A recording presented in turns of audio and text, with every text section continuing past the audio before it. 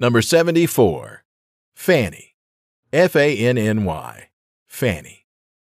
Here's a good example of an old name that used to be just fine and dandy to name your kid. Now it means ass. Use your head. If it were me, I'd steer clear of dick, too. Just saying.